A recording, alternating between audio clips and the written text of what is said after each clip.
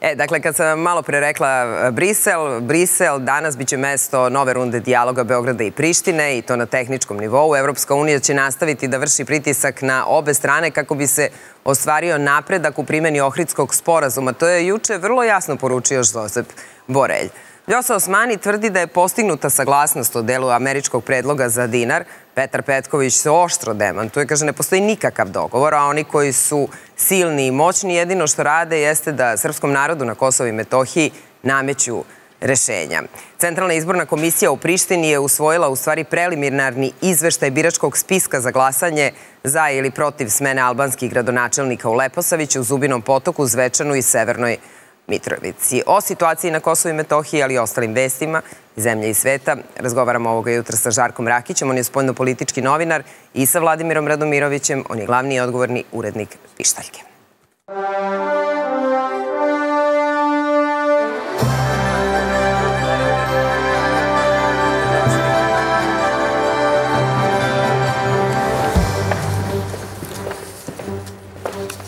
Pogledate naslovne strane i kažete uh,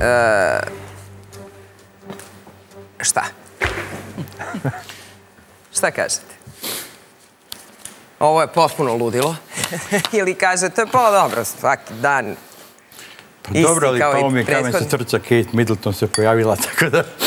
To nije stiglo da završi na naslovnim stranama do, do ovoga jutra, pošto se fotografija pojavila, pojavila sinoć, ali e, takva jedna bezazlena na izgled stvar medijska, e, žute prirode, može da uzdrma monarhiju.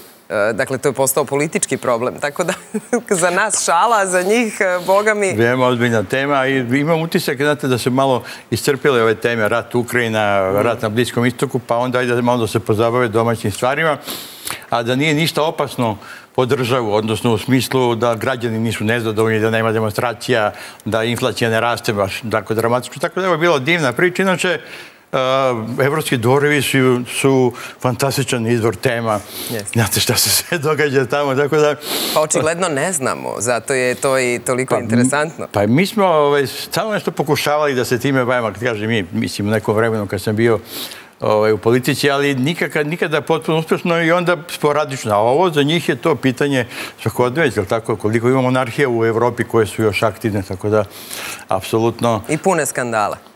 Pa i životni priča, i da kažemo i skandali i svega toga, što je idealno za žutu štampu, kako ste ih već definisali. Jeste. E, dakle, kada je reč o našim temama, juče da bolje bi bilo da se i mi bavimo ovde time šta se dešava u našoj e, porodici e, kraljevskoj, prinčevskoj, nego, nego da imamo teške teme na dnevnom redu. Dakle, juče imamo sastanak patrijarha Porfirija, predsjednika Dodika i predsjednika Vučića izlaze sa obaveštenjem da se 5. i 6. maja organizuje veliki vaskršnji sabor e, Srbije i Republike Srpske.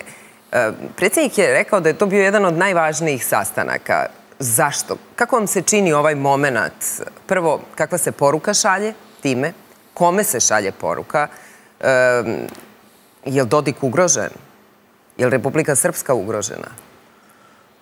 Pa imamo te američke sankcije i uopšte stav pre svega SAD, a i nekih evropskih zemalja prema Miloradu Dodiku i prema Republici Srpskoj, tako da očekujem da će to što je najavljeno, dakle 5. i 6. maja, ovaj, da će biti donete neke odluke, da će biti usvojene u skupštinama i da će prosto eto, to značiti dalju podršku Srbije i Dodiku i Republici Srpskoj, pre svega Republici Srpskoj, Znamo i da je evo sada Evropska komisija najavila da će otvoriti pregovore o članstvu Bosne i Hercegovine u Evropskoj uniji. Iako je jasno da Bosna i Hercegovina ima mnogo problema i da je pitanje šta će biti i sa tim pregovorima ako počnu. S tim da mislim da Republika Srpska je manji deo problema u Bosni i Hercegovini, zapravo i nije problem. Ali oni vide kao problem. Vide, naravno, zapad, veći deo Zapada vidi Republiku Srpsku kao problem, nažalost.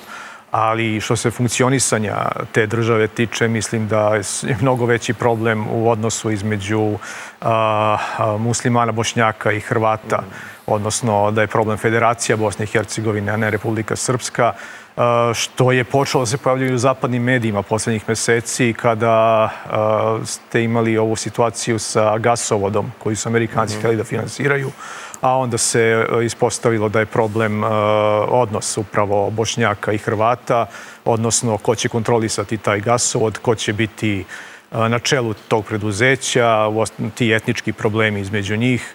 Tako da čini mi se da što se Republike Srpske tiče i, i Srba u Bosni i Hercegovini oni su zapravo deo rešenja, a problem je više na ovoj drugoj strani, iako se na zapadu predstavlja da je potpuno drugačije. Da, i na tom saboru biće donete važne odluke o opstanku srpskog naroda na svojim ognjištima, njegovom ekonomskom napretku, očuvanju srpskog jezika i ćiriličnog pisma i zajedničke kulturne baštine, to se navodi u saopštenju. Nova vlada Srbije i vlada Srpske pripremit će deklaraciju i moguće druge opšte pravne akte koji će u istom tekstu podneti na usvajanje Narodnim skupštinama Srbije i Republike Srpske. Kakve to odluke mogu da budu? Šta, šta možemo da očekujemo? Šta vi očekujete? Pa možda sam ja pretredim optimista, ali ja očekujem da počne da se stvaruje nešto što ja odavno definišem ovako za mene, privatno, jedrina samo reka. I mislim da je to nešto što uh, opredeljuje srpsko biće, ne samo u Srbiji, znači, nego na svim prostorima gde živi. Ali dobro, imali smo razne periode ovaj, kad je Drina pa, bila pa, hermetički zatvorena i kad smo imali a, drugačiji odnos a, prema Srbima u a, regionu. Uh mhm. -huh. Ovo se čini kao jedan veoma odbiljan pokušaj i nadam se samo da neće izazvati E, posljedice kao što su izazvali neki drugi pokušaj u ne tako davne prošle, ako se setimo memoranduma Sanu, kakve su bile reakcije i da se stalno potezao kao glavni argument e, u borbi po znacijom navoda protiv srpskog nacionalizma. Mm. Tako da... A posljedice e, po koga? I pa, posljedice od koga? Pa posljedice pre svega za Srbiju, za srpski narod, a od onih koji su nam nametnuli već jednom dramatične sankcije, upravo zbog toga što nismo uh, u prvom trenutku želi da prihvatimo uh, njihovo viđenje ovog dela Balkana ili prekrajanje uh, država na ovim teritorijama. Kasnije se to nekako sporadično pojavljivalo. Stalno smo imali tu neku, da kažem, E, uslovno rečeno, vatrogasnu ekipu koja se uvek javila kada bi Srbi ili kada bi Srbija postavila pitanje položaja e, Srba u drugim nekim državama, da ne idemo dalje od toga, da vidimo samo šta se dešavalo u Crnoj Gori i kako je to sve bilo definisano i kakvi su sve bili pokušaj da se uh, spreči briga Srbije za Srbe van teritorija Srbije. Ali ajde da, da definišemo problem. To bih voljela da, da probate da objasnite gledalcima. Dakle, je na bilo, je li na bilo koji način ugrožena Republika Srpska trenutno? Pa Republika Srpska vjerojatno teritorijalno nije ugrožena zato što nju štiti Dejtonski sporozum. Ali sve ono što se događa u praksi od delovanja pre svega ovog međunarodnog ovaj, posrednika, pa nadalje ovaj, diplomata u Sarajevu, pokazuje da je ona ugrožena, da je trn u oku, ako mogu tako možda bolje da kažem. Pa zato što ako je naslov, evo recimo večernje novosti, nema predaje, I to jeste e, retorika koju možemo da čujemo iz Srbije.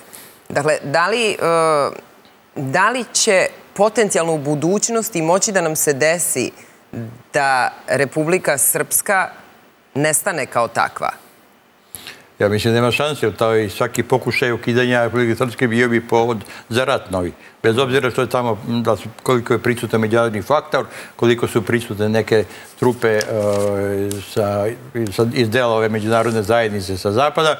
Tako da to mislim da je, uh, da je taj, to poglavlje zatvoreno. Međutim, na svim stranama imate takozvane jastrove, kako vole medije da ih definišu, mhm. koji e, nisu zadovoljni sa onim što je postignuto, sa situacijom na terenu i koji bi stvar, stalno e, želi da se pravi neka revizija. Da li da se pravi revizija granica, čak i revizija istorije, to je veoma moderno danas da se pravi, tako? Pa dobro, jeste.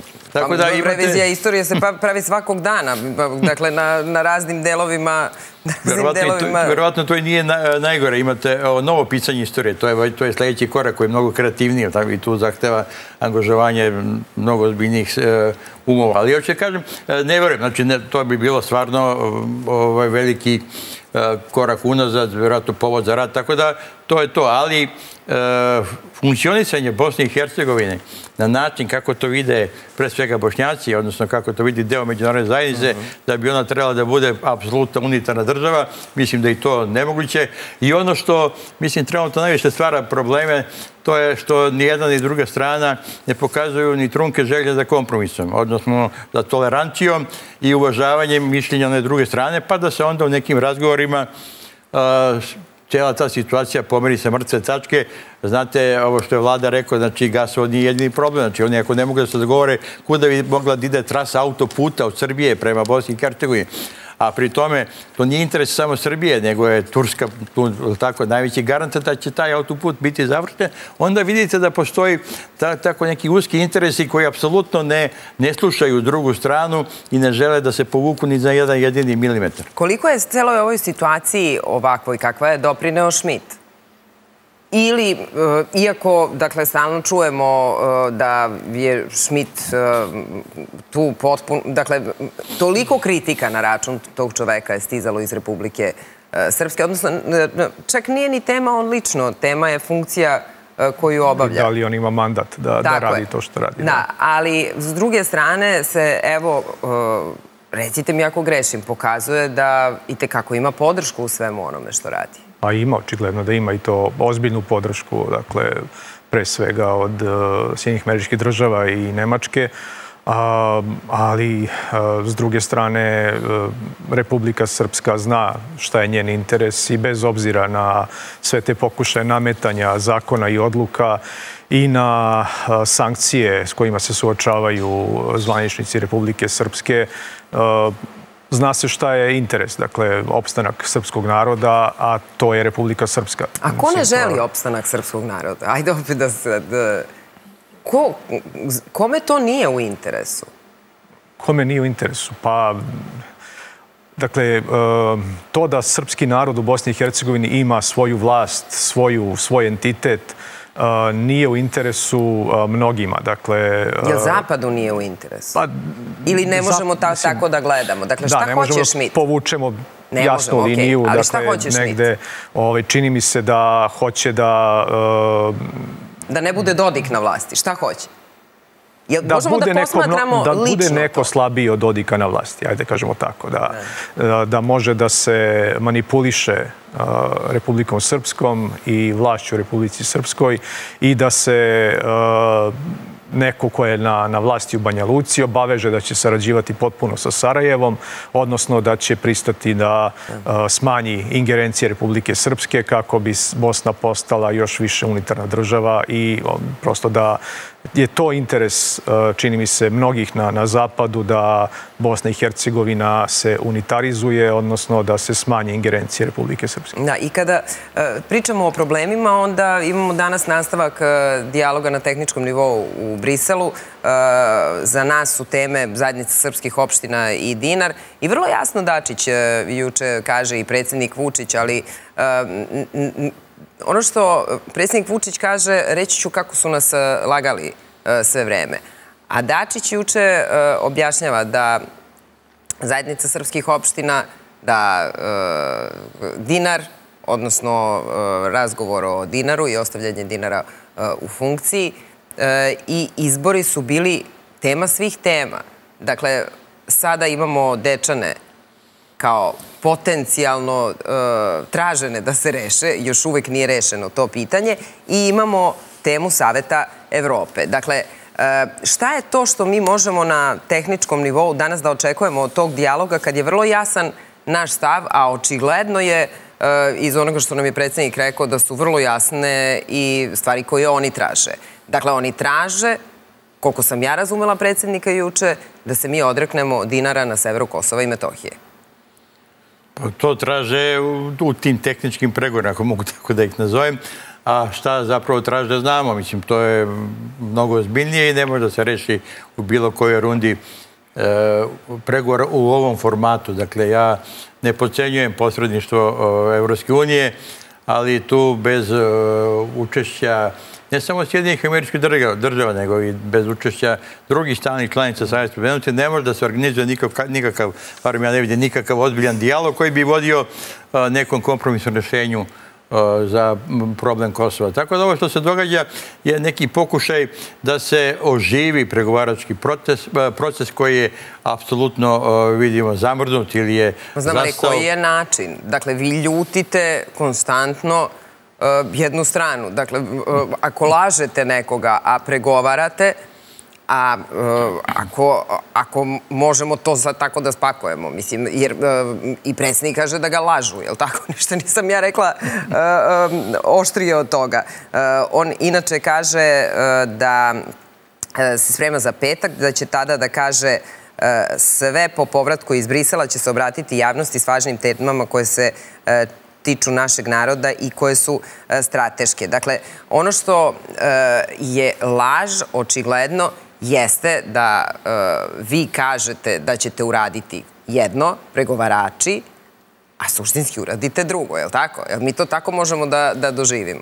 I pa- Borelj juče, pa pazite, on je vrlo jasno rekao juče, on zahteva, on kaže da, su, da je Evropa mnogo toga uradila i da zahteva da se nastavi sa implementacijom Ohridskog sporazuma, bez odlaganja. Vrlo oštro. Dakle, ovde se situacija izuzetno se komplikovala. Verujte da sam se veoma zabrinuo kad gospodin Borelj to kaže.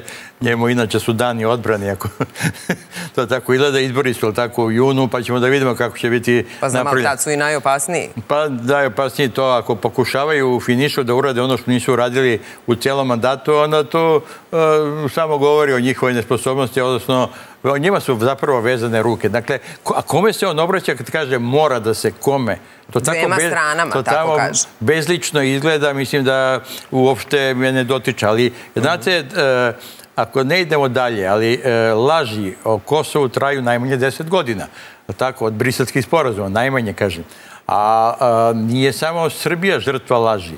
Znači, većina država koje nisu deo te međunarodne zajednice ili dela te međunarodne zajednice su uglavnom žrtva. Znači, nije samo laž ono što se izgovori pa se ne ispuni. Znači, imali smo situaciju da se potpisani sporazumi, ugovori ne sprovode odnosno da se traži način da se oni, najbolje rečeno, ili revidiraju ili da se ponovo ponovo nametnu ti neki sporazumi kao tema nekih novih pregovora. Tako da nema tu verovatno ništa novo nećemo čuti o tim, osim što me zanimaju te formulacije kako to izgleda kad nešto se kao dogovorimo, a onda krenu te neke priče kako bi to trebalo da zapravo izgleda da se nismo razumeli Mislim da je to najbolje moguća formulacija. Vas interesuje e, kako, oni, e, kako oni pokušavaju da obmanu jel, jednu Mene stranu. interesuje ko najviše laže. Mislim, to me da prevedem na rečnik. Da li je Miroslav to... Lajčak deluje kao lažo? Pa ne, on je čovjek e, operativac, on je čovjek birokrata, pismonoša, kako god hoćete. On nema kapacitet da nudi neki sadržaj osim onoga što mu je rečeno u Briselu. Dakle, kakve veze ima ako dođe Dakle, on je taj koji je bio sad u petak, je li pa tako? Da, da, on možda kaže... Pa, ali od tog njegovog dolaska deluje da e, je predsjednik Vučić poprilično ljud. Dakle, možemo da zaključimo da je Lajčak lažov, je li tako? Pa ne, ali on uvek može da kaže ja ne lažem, meni su rekli da lažem. Znači, on je, on je čovjek službenik, znači, apsolutno ima pa, tu zaštitu. Ali ne verujem da, da on dođe i kaže e, predsjedniče Vučiću, dakle, ja vam prenosim poruku ovih lažova mojih šefova iz, e, iz Brisela, jel? Pa to predsjednik Srbije kaže da su oni tamo takvi, a mi verujemo da su oni divni tako i sve to, samo što malo se možda ne, ne snalaze na terenu. Šalim se, naravno, ali znate kako, a, situacija je takva da više tu niko nikome ništa ne veruje i to je potpuno normalno kad imate najmanje deset godina tih lažnih obećanja, prevara, obmana ili vi šta god hoćete, onda ćemo da vidimo šta se tu zapravo događa. Znate, nije to jedina tema ili jedini prostor na kome Srbiji, u Srbiji ulažu. Znači ja uvijek moram se zapitam kad vidim e, da je Srbija na evropskom putu, samo se zapitam a gde smo stali.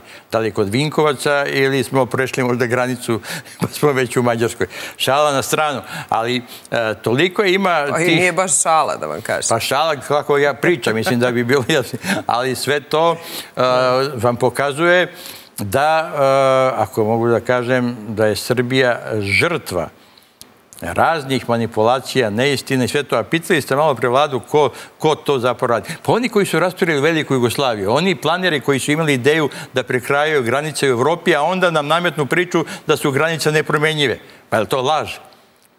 Ne, to je onda sui generis, tako, to je jedinstven primjer i onda to više ne važi, a sad ćemo da se bavimo međunarodnim pravom na pravi način, a vi što ste bili žrtva i što smo slagali, i što, su vam, smo odgurnuli u građanski rat ili u rat međunarodni, onda je to ovaj, vaš problem što ste u ovom vremenu na tom mestu i da nam smetate. Ali je najlakše, eh, neko će reći, najlakše je možda uh, skliznuti u građanski rat, najlakše je skliznuti u rat, je li tako? Dakle, nemam, uh, verovatno, jednostavnije odluke. Propudi se vrhovni komandant jednog jutra i kaže nećete nas više lagati, nećete više tako ka Kosovu, se, e, sa Kosovom se ponašite, deo od naše teritorije krenemo i gde ćemo, je li tako? Mislim, e, to je to bi bilo možda najgluplje rešenje koje Čekajte, može... vi imate sad ovih dana, juče, prekjuče, ovaj, povodom uh, godišnjice Martovskog pogroma, Dobro. poziv na rat, faktički koji dolazi od Albina Kurtije i njegove stranke, koji sad opet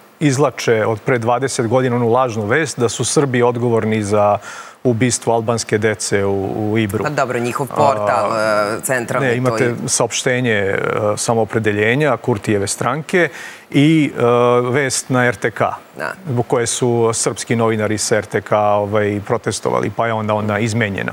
Ali uh, Ono što je strašno jeste što uh, niko od tih ambasadora zapadnih u Prištini nije reagovao na tu laž Ma ne, i na prvo, to niko, pozivanje. Niko nije reagovao na godišnjicu. Dakle, to je jeste, prva i osnovna stvar. Ali vi imate ovde pozivanje ponovo na ubistvo i progon Srba. Jeste, jeste. Ali um, baš smo juče pričali o tome. Dakle, nemate nijedan, uh, nijednu ambasadu, nijedan strani medij koji je napisao tekst. Dakle, nekako mi se čini da, da naša istina ne postoji ili da mi za nju e, dovoljno ne lobiramo ili nemamo prostora da, da lobiramo ili stvarno u životu za istinu možda i ne treba lobirati. Ali, e, peste, dakle, kad pričamo o istinama, ako imate juče Vljosu Osmani koja tvrdi da je postignuta saglasnost u delu američkog predloga za dinar, Pa onda imamo Petra Petkovića koji to demantuje i kaže da ne postoji dogovor, a oni koji su silni i moćni jedino što rade je da srpskom narodu na Kosovo i Metohiji nameću e, rešenja. Kakav američki predlog za dinar?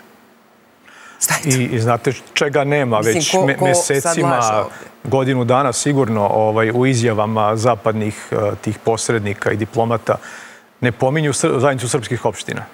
Dakle, gde je, gde je to? Gde je ta obaveza uh, koju jeli, ovaj, vlast u Prištini treba da ispuni već od 2013. godine. Dobro, pominju statute, pominju, ovaj, nije da ne ovaj, pominju. Ali gde je taj pritisak na Kurtija da ispuni ono? Sad opet imamo, ulazimo u tu neku spiralu uh, da li će biti izbori, da li će se glasati za opoziv ovih gradonačelnika koji su dobili 3% ovaj, glasova na izborima, pa onda novi izbori, pa onda ovaj, menjanje Ma dobro, tablina. referendum more da, prvo Mislim, da, se, da se uradi pa da vidimo šta će da bude. Sve to potiskuje odnosno Suštinu. baca u drugi plan suštinu koja je kako napraviti zajednicu srpskih opština i kako zaštititi srpski narod na Kosovo i Metohiji. Molim vas, samo mi recite šta je američki predlog, ili znate? Ma otkud znam, kako bih ja Pa ne zna niko od nas. Pa dobro, zato vas i pitam, rekao e, da ne postoji nešto e, što e, neko zna. Vi znate šta je američki predlog. Možda da se dinar zameri dolarom, mislim, to bi bilo zanimljivo.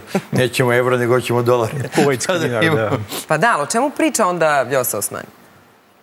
Ne znam, mislim, ona može da priča šta hoće, ali ovaj, jasno je da je, dakle, od kad, uh, uh, od 99. zapravo imate niz odluka ovaj, kojima se dozvoljava upotreba dinara na Kosovo i Metohiji i ovo je zaista opet jedan pokušaj da se uh, Srbi stave u jedan nepovoljan položaj i da budu primorani da napuste Kosovo i Metohiju. I opet nemate reakciju nikakvu, opet imamo neke runde pregovora o kojima se suština se zamagljuje i tako ovaj, malo po malo uh, Zapad pušta Kurtija da svojom pan-albanskom politikom koja je uh, šovinistička uh, proteruje Srbe. Da. Kad kaže predsjednik juče nema po pitanju dinara nikakvog dogovora, vi tražite da se mi dogovorimo da ukinemo sobstvenu valutu na sobstvenoj teritoriji, nećemo i ne možemo. Navaju da to mogu da urade evropljani na silu zajedno sa Prištinom, ali da Srbija će naći način kako da svom narodu e, dopremi novac. I kome je e, ovde, ako smo pričali mesecima, dakle da ti pregovori i razgovori idu u dobrom smeru. Do Banjske smo pričali o tome da smo napokon promenili taj imidž, da mi nismo više ti koji su loši momci. Desila se Banjska, koja je u neku ruku, kako su mnogi analitičari ocenjivali, tada vratila nas nekoliko da. koraka uh, unazad. Dakle, od Banjske do danas, šta nam se desilo? Niz problema je, je nastao. Jeste. Uh, I sad, pritom, ovo što i predsjednik Vučić kaže, ajde, kažite nam šta se desilo u Banjskoj, kako su ti ljudi ubijeni. Uh, I tu opet nema odgovora. E sad, hteo bih da se malo vratimo uh, na pitanje tog nekog dogovora između Beograda i Prištine. Uh -huh. Kada je pre nekoliko godina uh, u vreme jeli, vlasti Donalda Trumpa u Americi izgledalo kao da će doći do nekog sporazuma, uh, tada je na vlasti u Prištini bio Hašim Tači. Šta se desilo? Hašim Tači je naprasno optužen za ratne zločine i isporučen u Hag ovaj ad hoc sud za ovaj ratne zločine OVK. Uh, iako je, dakle, Donald Trump bio na vlasti, iako je on gurao uh, neku vrstu sporazuma koji bi pre svega, vidimo sad iz posljednjih izjava Richarda Grenela, bio uh, zasnovan na ekonomskim odnosima. Očigledno je bila jaka struja u Vašingtonu i u Nemačkoj Nemačkoj na vlasti, u Vašingtonu u opoziciji, ali koji dalje ima utice na vlast, da Hašima Tačija skloni i da ne dođe do sporazuma koji bi sigurno bio u korist Srba i Srbije. Iako nam to tako nije delovalo. Iako to tako nije, nije delovalo. nam delovalo. Tako dakle, je, mi u stvari tačno. shvatimo kakav je svaki prethodni sporazum bio kada dobijemo novi na sto. Tačno. I sad vidite, evo sad sa ovom pameću vidimo šta se... I sad treba uh, sa ovom pameću igrati mudro i uh, pratiti sve ovo što Žarko kaže, idu nam izbori ovaj, u Evropskoj uniji. Šta, koliko god nam loše trenutno izgledalo ovo tako kako je, može da bude u budućnosti samo gore. To hoćete da kažete? Ne. Hoću da kažem da mi treba svoju politiku da vodimo pametno i da posmatramo i promene koje se koje su najavljene da će se desiti narednih meseci u Evropskoj uniji i u Americi i da na osnovu toga uh, pokušamo da dođemo do rešenja koje će odgovarati i nama i pre svega Srbima na Kosovo i Metohiji. Ne samo Srbima, već i drugim manjinama koji su ugrožene na Kosovo i Metohiji. Da. I kada ste pomenuli Grenela na naslovnoj strani današnje politike, uh, govori se nekako u par dana smo rešili problem generalštaba. Uh, kad kažem rešili problem, Ja recimo svakog dana prolazim nekoliko puta pored generalštaba i verujte mi, godinama se pitam kada će se ovde napraviti, razmišljala sam neki memorialni centar i kada će se ovo rešiti, kada uh, ćemo skloniti ovo, ovo uh, ne, ne uh, to nije, ne treba da sklonimo sećanje, mi treba da taj deo dovedemo i primenimo nekoj nameni. I imamo sada intervju Richarda Grenala, bivšeg američkog diplomate, E, koji inače e, je, od kako nije u administraciji, mada i dok je bio poslednjih e, meseci, da ne kažem možda godinu, godinu i po dana, bio, poprilično je razumeo položaj Srba bolje možda nego, nego neki drugi. I Evo kaže Richard Grenell za politiku, središte projekta Generalštab bio bi memorijal kao mesto sećanja na njegovu e, istoriju. Predsednik Vučić je juče prokomentarisao e, to što bi trebalo da se e, gradi. Dakle, ima jedno od mogućih idejnih rešenja za obnovu Generalštaba. Evo ja ću vam pokazati kako izgleda ta fotografija. New York Times piše da je predviđeno ulaganje pola milijarde dolara Srbiji 22 od 100 profita. Jared Kushner je vlasnik kompanije koja bi trebalo da dobije u zakup lokaciju bombardovanog generalštaba u Beogradu na 99 godina bez naknade i na to mesto ova kompanija planira izgradnju luksuznog hotelskog i apartmanskog kompleksa kao i spomena obeležija muzeja, to piše New York Times. Investicija je, kako se navodi, vredna 500 miliona dolara, a država Srbija prema predlogu ugovora trebalo bi da dobije 22 od 100 e, profita. Predsednik kaže da je ovo popravljanje odnosa Beograda i Vašingtona bez zaboravljanja onoga što se desilo. Kako se vama čini ovaj poslovni dil?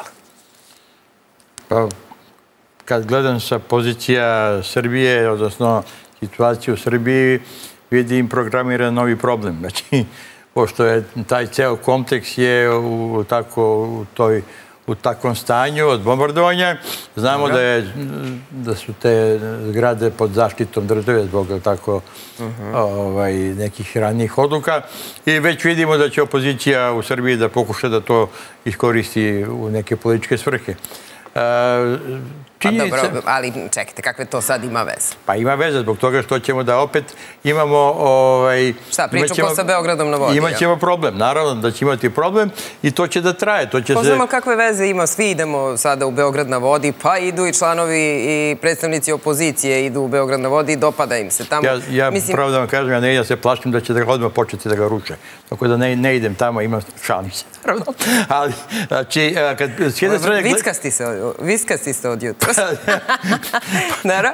Pa mislim, tako je bio problem i sa, i sa zgradom bivšeg savjetnog e, tako, MUPA na, na kraju Knez Mihajlove, da je sad je izrađeno tri solitera i to je isto trajalo skoro deceniju dok smo stigli do te. Naravno da će biti problema, naravno da ima uvek onih koji e, se bune kad se nešto e, menja, da li je to e, konzervatizam ili je to nešto drugo. To, to sve znamo, nego vi meni recite šta vi mislite o tome. Mene to interesuje. A da li će bude problema, bit će problema. Uvek ima problema. Ne može ništa proći bez problema. Pa naravno, ja sam ovaj, uvek zagovorim na to da se ide napred i da se mm. i Srbija i Beograd razvijaju i naravno da treba ukloniti, to je zaista sada ruglo.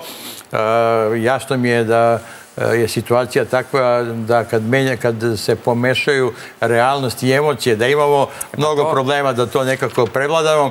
Jedino mi je sumnjiva ta suma od 500 miliona, mislim da će to koštati neuporedivo više.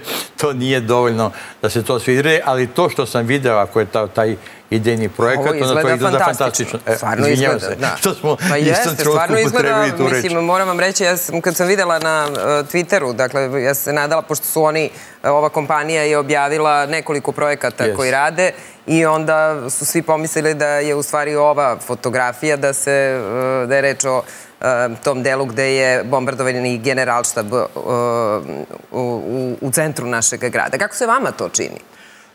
Meni smeta što smo, mislim, hvala Aleksandru Jovanoviću Ćuti što je objavio ovo, ali smeta mi što nismo od naše vlasti saznali za ovaj projekat. Da, pa moram vam reći da smo mi pokušavali od uh, prošle nedelje da uh, dobijemo informaciju. Nama su iz Ministarstva vojske rekli kad kažem mi, kad mislim na Tanju, iz Ministarstva vojske su nam rekli i sasvim slučajno smo krenuli da se bavimo tom temom, misleći da pošto ide 25 godina da. od bombardovanja, da sigurno postoji neki plan i projekat za e, tu zgradu generalštaba. Onda su nam rekli e, da je to u nadležnosti Vesićevog ministarstva, pa smo onda dobili neki odgovor e, da još uvek se ne radi ništa sa tim, a onda je deo opozicije izašao i onda smo dobili sve odgovore da. koji su nam bili neophodni. I ono što je opet meni zanimljivo jeste kako New York Times iz dana u dan prati ovu priču i to je jedna od glavnih tema s tim da treba uporediti, na primjer, i kako je New York Times izveštavao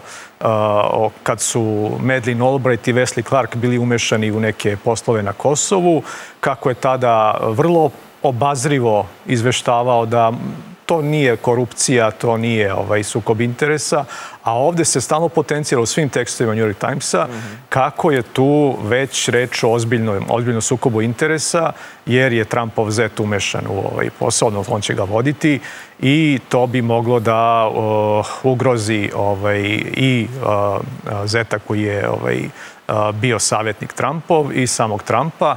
A, dobro, a ovde zašto? smo imali jeli, Madeleine Albright i Vestija Clarka koji su direktno ovaj, ocepili deo naše teritorije i onda došli tamo da zarađuju ovaj, milijarde dolara.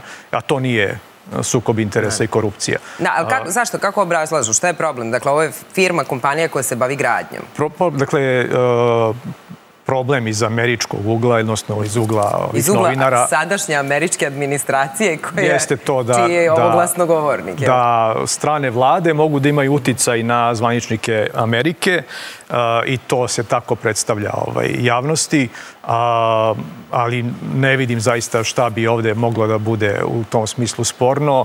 A, nama može biti sporno ovaj, zašto nije raspisan međunarodni neki tender za to, već se ide na direktnu pogodbu, ali opet možda tu ima i nekih ovaj, stvari za koje mi još nismo saznali i saznaćemo za neku godinu, kao što saznajemo i za ove stvari o kojima smo malo prepričali, ali dakle, zanimljivo je to kako New York Times izveštava i s druge strane, jasno je da Srbije je potrebno ovaj, da, da ima investicije i tu je ideja odgovora na ono pitanje o kojem smo ranije razgovarali, pitanje Republike Srpske, statusa Kosova i Metohije, jeste da Srbija mora da održava stabilnost ne samo uh, u okviru uh, granica uh, Srbije, dakle sa Kosovom i Metohijom, već i u neposrednom okruženju, kako bi te investicije dolazile i kako bi Srbija mogla ekonomski da ojača i da onda, zahvaljujući ekonomskoj snazi,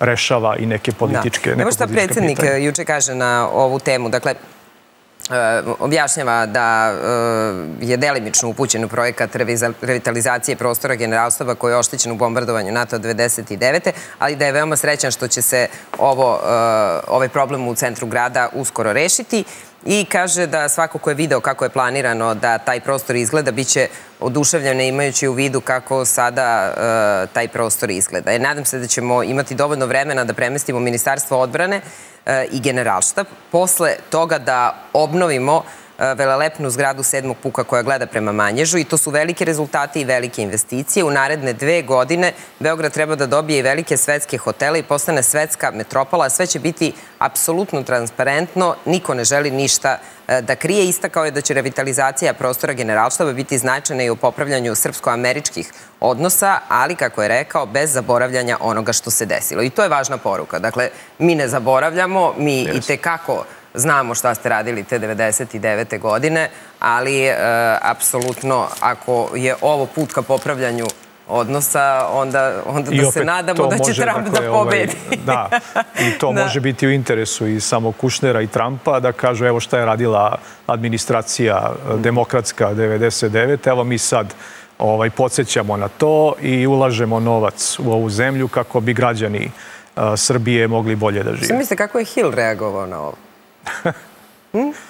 Pa možda i on bio iznenađen kao i mi kad smo videli ovaj, tu vest. Ne znam, ne znam. A Sad... možda je opet i Grenell, možda Ajde, Grenell vi ste, ima neku... vi ste duhoviti od Njegova izjava je da Srbija i Srbija i Srbi treba da ostave prošlost i da gledaju budućnost. Ovo je pogled u budućnost, ali tako? Ne. Da prestanemo da gledamo... Ispunjena mu je želja, jel? O, da, pa mislim, to liči. To, osim taj memorialni centar, to ne znam kako će da bude definisan i kako će da ide, a na ovim, ovoj maketi deluje da će biti veoma, veoma lepo i da će biti yes. ceo taj kompleks odlično uklopljen, ali uvek će biti nezadovoljnih ovaj, a da li će gospodin Hill biti ovde kad bude sve to gotovo i to ćemo I to ćemo, tako i to ćemo znati evo, uskoro, za par meseci. Ivica Dačić je potvrdio juče da je Rusija kao e, članica Saveta bezbednosti Ujedinjenih nacija još pre desetak dana tražila da, odnosno predložila da se održi ta sednica povodom 25. godišnjice agresije NATO na tadašnju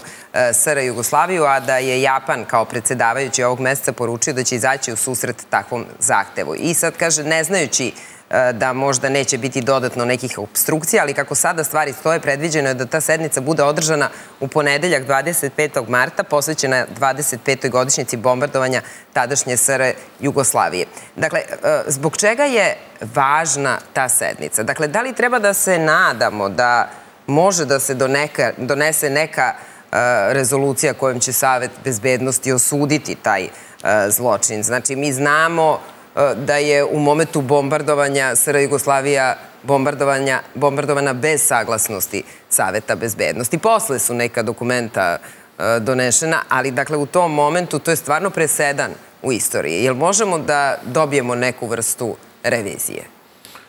Pa nisam optimista da na taj način može da se nešto uradi, pogotovo ne da neće biti bilo kakve rezolucije na tu temu, ali meni je mnogo važno što u poslednjih meseci imamo situaciju da se problem Kosova, odnosno otepljene teritorije Srbije, sve češće pojavljuje na dnevnom redu Saveta bezbednosti. To je nešto što mi djeluje ohrabrujuće, bez obzira na sve kritike o nemoći Savjeta bezbednosti, na primjer, da reši ili da pomogne da se reši problem na Bliskom istoku, da se zaustavi ratovanje bilo gde na planeti, tako da sve to je u redu, ali kažem, kad se naše teme pojave Savjeta bezbednosti, to znači da raste razumevanje za takvu vrstu problema.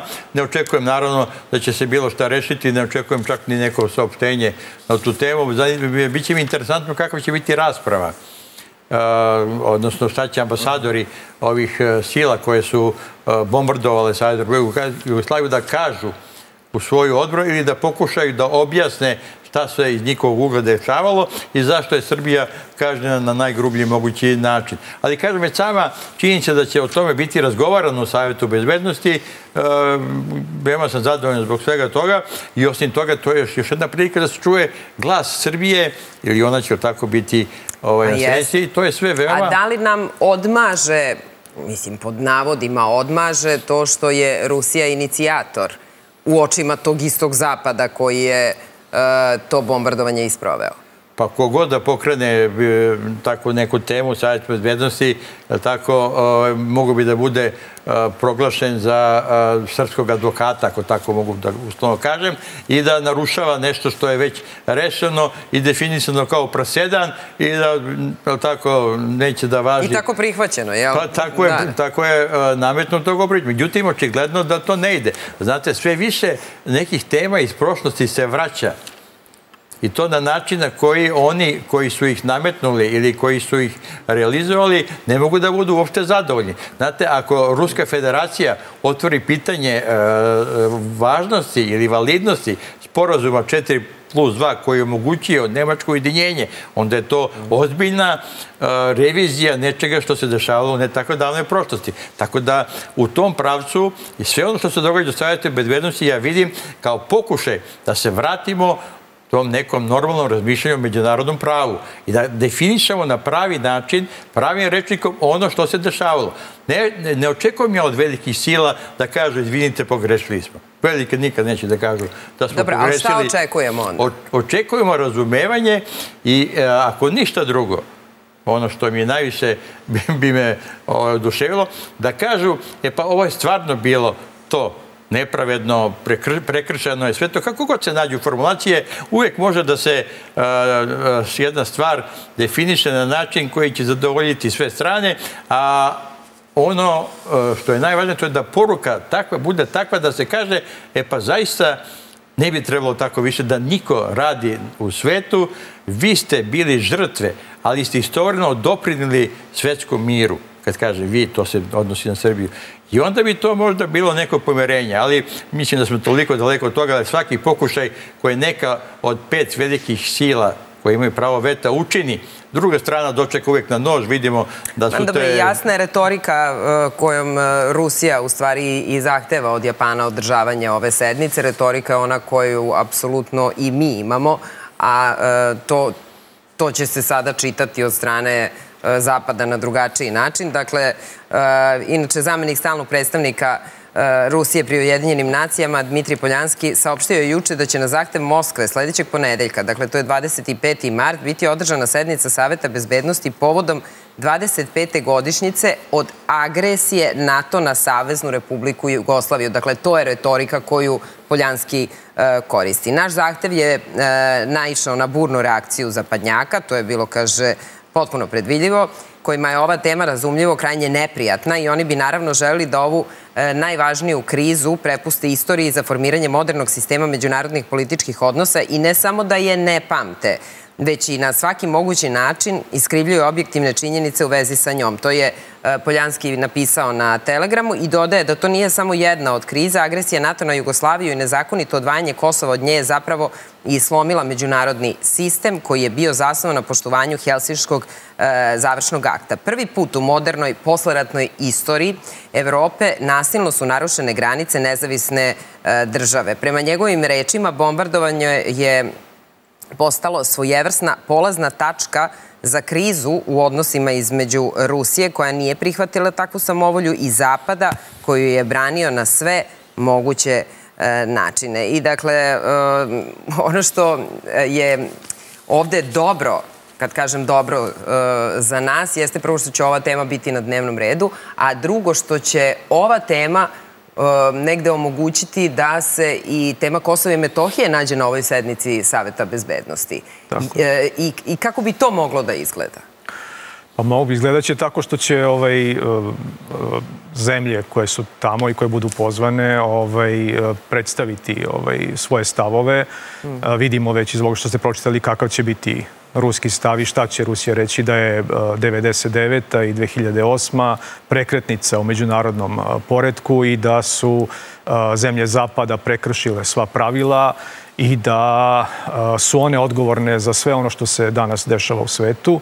Ehm, žarko se seća, mi smo u politici pisali još 2006. Ovaj, eh, eh, da će Rusija uraditi upravo ono što je uradila kasnije. Ako Zapad nastavi sa guranjem nezavisnosti Kosova i Metohije, eh, da će Rusija to iskoristiti u svoju korist i da će prosto uraditi pa da, ali da, li da bi zaštiti ta svoj narod. Jasno mi je, ali da li bi ista ta Rusija kada bi sada Zapad rekao u, re, u redu ove anektirane teritorije, sve ovo što ste, što ste pouzimali je vaše, stavljamo tačku, idemo dalje, Kosovo je nezavisna država i skinite veto. Da li bi nas Rusi prodali? Da li bi nas Rusi prodali? Ma ne bi, to su sad ovaj... Uh... Jel ma ne bi ili ne, kažete da ne bi nas naša braća Rusi nikad ne, prodali? Ne, ne, braća, braća to je neki ovaj, uh, termin koji ne bi da koristio. Ali uh, veći interes Rusije da ima Srbiju na svojoj strani nego da uh, otkači Srbiju. Da Zapad prizna da, Rusiju u novim granicama. Ovaj, uh, pazite, uh, mislim da te granice su i dalje fluidne i da ovaj, uh, Rusija nema nameru da stane. Uh, I, kažem, mi smo u politici upozoravali da će se sve ovo desiti, a i nemoguće je da na zapadu nisu znali uh, šta sve može da se desi ako uh, priznaju uh, nezavisnost Kosova i Metohije uh, i prosto je nejasno zašto su i dalje išli u to. Ma zašto Misli i dalje da idu Srbija, u to? Da je, da je Srbija slaba i da je Rusija slaba i a, tu su se prevarili. Ovaj, a, verovatno su smatrali da je Rusiji mnogo važnije da ima dobre ovaj, političke i ekonomske odnose sa Zapadom nego da svoje interese štiti. Mm -hmm. Šta vi mislite? Šta bi uradili Rusi? Pa naravno da bi gledali pre svega svoje interese, a znate, e, kad imate situaciju da vas e, taj kolektivni zapad e, izložio sankcijama, progonu, svim i to je znači definitivno kraj nekih normalnih odnosa između Ruske federacije i Sjedinih američkih država i njihovih E, partnera i saveznika. Tako da tu više nema nikakve, nikakve dileme. Imamo novo kreiranje međunarodnog svetskog poredka koje e, ide tako teško zato što Zapad brani svoje pozicije. Srbija je tu gde je i nama. To je naš najveći problem, ali i naša najveća prednost. Dakle, znate, e, sve češće se mi se meni ne dopada ni, ni malo, pojavljuje priča da je Srbija izolovana, tako, NATO članicama sa svih strana, ali da su ove teritorije na dometu ruskih raketa i to mene zgrozilo kad sam vidio te, te podatke, ali kad vidite brojke, morate da se zapitate šta se zapravo događa. I vi, e, zašto bi sad e, Rusija koja i dalje radi, mislim, to što radi, što kaže vlada, mislim, e, tek ćemo da vidimo gde će, gde će se zaustaviti to novo prekrajanje granica na istoku Evrope, zaista moramo da se zapitamo gde je to nama mesto i da pokušamo da vodimo uravnoteženu politiku, to znači da vodimo računa o svojim interesima, kao što svi rade. Pri tome što neko to radi grubo, pa ne, ne vodi računa o tuđim interesima, a neko pokušava da na, na račun lepih reči ili lepših obećanja ili lepših nekih e, tako priča da pridobije, pridobije neke zemlje. Neće nas prodati. Zašto bi nas prodali? Znači, jednom je to urađeno u Savjetu bezbednosti i vidim da je kajanje veoma iskreno i duboko na ruskoj strani, ali i mi moramo znamo da tada... Čekajte, oni... mislite da kada bi rekli priznajemo vas u granicama u kojima trenutno vi vidite svoju državu sa svim ovim da. teritorijama koje ste anektirali, staje rat, samo skinite veto, oni bi rekli Mislim, ne, ne, ne, ne dolazi u obzir. Mislim Kosovo da sam, je Možda sam idealista, ali ne verujem da bi da bi uradili to što ste vi sad postavili Dobro. kao mogućnost. Da. Pri tome, e, ne verujem ni da bi... Mislim, mogla sam da, rekla ponovo da, da... Ne verujem da možda dođe uopšte i situacija da ova jedna strana ponudi Rusiji takvu formulu. To svakako da neće doći, nego vas više pitam šta bi bio uh, ruski odgovor. Jer interesantno je uh, ubedljiva pobeda uh, Vladimira Putina na izborima koji su bili trodnevni i sad imamo čestitke iz sveta. Čestitao mu je Xi Jinping, čestitao mu je predsednik Irana, čestitao mu je dakle, lider Azerbejdžana, Kim Jong-un i sve očekivano, nijedan zapadnjački lider, Borelj, ovaj čovek što vi volite da slušate šta on, šta on ima da kaže. On kaže Uvijek da, mi da smeje, mislim. Da, on kaže da ne priznaje izbore uh, u Rusiji. Isto tako, uh, Putin je uh, juče davao uh, izjave i rekao je uh, ono što je interesantno recimo za zapadne medije bilo, rekao je da se nekoliko dana pre smrti opozicionara Alekseja Navalnog, e, zato što je polemika o tome, dakle, ko su ovi uh, kandidati, protiv kandidati Putinu, niko nije osvojio više uh, od uh, ovaj Haritonov je osvojio 4,3 odsto, Putin recimo 87,3 odsto. Dakle, mislim, 83 odsto više glasova je Putin osvojio od prvog sledećeg protiv kandidata. I onda se pominjao Aleksej Navalni i predsjednik Putin je rekao da se nekoliko dana pre smrti Navalnog saglasio s time da ga zameni za određene ruske zatvorenike u inostranstvu. Istakao je da su ga neke kolege obavestile da postoji ideja da Navalni bude razmenjen. Možda mi verujete, možda ne, ali osoba koja je razgovarala sa mnom još uvek nije završila rečenicu, a ja sam rekao da sam saglasan. I to je rekao Putin. I napomenuo da je za to postojao jedan uslov, a to je da se Navalni više ne vraća u Rusiju ima tu ideo da taj predlog nije stigao iz političkih struktura, nego i neki drugi. Ja pretpostavljam da je gospodin Abramović tu ovaj, koji da? jeste pokušavao inače ranije da se predstavi mhm. kao posrednik, ali znate da šta, ovaj, moram da se vratim na onu vašu uh, rečenicu da je gospodin Borelj odlučno tako odbacio rezultate izbora mhm. ovaj, u Ruskoj federaciji, ali pre nekoliko meseci gospodin Putin je u jednom govoru uz osmeh Rekao, a ko ste vi? Ko ste vi u mom životu i životu Ruske federacije i životu da se tako ponašate? Vi, e, ako hoćete, mi možemo sve da dovedemo onda po znak e, pitanja. Da kažemo, čekajte, što inače rade ruski analitičari, koliko je gospodin Macron dobio procenata e, glasova na posljednjim izborima? Koliko je gospodin Šolc dobio glasova na posljednjim izborima? Tako da sve, vrtimo se onda u krug, to što neko neće da čestita, ali u medijima vidim da kaže se od prilike informacije, pa to je očekivano bilo. Pa šta drugo da kažu, mislim, ovaj, da uh, su navijali za nekoga druga. I mislite da bi Navalni bio ozbiljniji protiv kandidat uh, Vladimiru Putinu na nekim predsjedničkim izborima? Pa naravno da ne bi. Možda bi bio veći procenat, mislim, odnosno manji procenat za Putina, više za njega od ovih koji su učestvovali u toj igri. Ali to je takva situacija. Znate, na Zapadu uvek vole da kažu kako je Rusija izvor svih tih nekih dekadentnih priča o izborima, pa citiraju Staljina, ne znam da li je tačno ili nije, ali njegovu, kaže, rečenicu, ako se izbori dobro organizuju, glasanje nije ni potrebno. tako, da, tako da se tu postavlja pitanje ko to bolje radi. Da li su izbori potrebni u Sjedinim američkim državama ako znamo da će Biden ponovo da pobedi? Ja znate to? Pa ja, ako ja, se, dakle- ja se pitam kako je prošli put pobedio, zašto ne bi Ja možda... baš mislim da će da probe- pobedi Trump. A ovde recimo nismo imali nikakvu dilemu. Tu je opet pitanje ovo što sad ovi Trumpovi saveznici kažu elektorski kolegijum, kako će oni glasati. Dobro, da. Znači u Americi narod može da glasa na jedan način, a da onda ovi koji su navodni predstavnici naroda glasaju potpuno drugačije, da izaberu predsjednika koji nije dobio glasove Većinu, tako je. većine. da. Pa dobro, ali u krajnjoj liniji da budemo potpuno pošteni. Trump je dobio manje od Hillary Clinton, pa je bio predsjednik e, Amerike. Pa, da. I poprilično manje. Ali e, kada, e, da se vratimo na Borelja samo, on kaže šokantna, kako objašnjava u stvari zašto oni misle da, odnosno, kako kažu, ne priznajemo izbore u Rusiji. On kaže, izbori nisu bili fer i slobodni, održani su pod represijom i zastrašivanjem opozicijonih lidera, lidera civilnog društva i nezavisnih medija. Navodi smrt Navaljnog kao e, važan e, faktor i to je znak ubrzane i sistemske represije.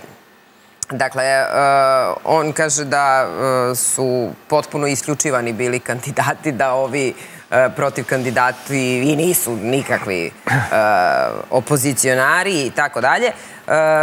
Kako vi vidite ove izbore? Dakle, da li je potpuno logično da u ratno vreme se narod okreće jakom lideru ili je zaista Rusija jedna uh, neslobodna zemlja gde uh, je nemoguće glasati za bilo koga drugog želite da živite tamo, jel, iz straha glasate za Putina jer će vas prijaviti komšija, jer će vas prijaviti, ne znam, na radnom mestu i tako dalje. može jedno drugo da bude tačno, mislim, u isto vreme. Ovaj, I da narod želi da glasa za Putina i da ima onih koji ovaj, se plaše da ako ne glasaju za Putina da će imati neke posljedice. Ali da se vratimo na Borelja, ovaj, eh, njega diskvalifikuje ono što je rekao pre oko godinu dana ovaj, kako je Evropska unija bašta i kako to je obraćanju diplomatama Evropske unije rekao da je Evropska unija bašta, a da je izvan te bašte džungla ovaj, valjda smo onda i mi džungla i Rusija je džungla i sve je, ovaj, ceo ostatak sveta je Mi smo džungla. na putu ka bašti. Ovaj, da, mi smo ovaj, sečemo mačetama ovaj, put iz džungle, ali ovaj, uh, tako da uh, Ali za jednog znam, ali diplomatu, ovi... za glavnog diplomata Europske unije za jedna skandalozna izjava, a opet da se vratimo na ono što je, ovo što ste govorili mali, ma, ranije, da li je Srbija izolovana. Ja sam posljednjih mjeseci imao priliku da učestvujem u međunarodnim pregovorima u, okviru delegacije Srbije i od zapadnih diplomata sam čuo, više zapadnih diplomata, kako je Srbija redka zemlja, možda jedina u svetu koja može sa svima da razgovara. I to govori o poziciji Srbije. Dakle, Srbija u isto vreme možda razgovara i sa Sjedinim američkim državama, i sa Rusijom, i sa Izraelom, i sa Palestinom, sa Iranom i Saudijskom Arabijom. Uh, dakle, to uh, redko koja zemlja još može. Uh, I to govori da Srbija je daleko od toga da je izolovana i da ovaj, ima neki problem u svojim diplomatskim odnosima. A, ono što je naš problem jeste a, što naš diplomatski kadar treba da se jača i da a, prosto on bude refleksija te pozicije Srbije. Dakle, u narednim e, satima našeg programa pričat ćemo i o izborima u Rusiji. Pričat ćemo, namjerno sam preskočila Skupštinu jučerašnji dan, pošto e, ćemo se time baviti e, u 9 ovoga jutra, ali neko će reći iznenađenje je bilo da su uopšte svi bili u skupštinskoj sali od e, predsednika opozicije, osim DS-a koji je i najavio da se neće pojaviti. Opozicija je imala jedan svojevrsni performans, tako da ga najblaže moguće e, rečeno nazovemo, ali u svakom slučaju e, interesuje me jel vi vidite da parlament funkcioniše?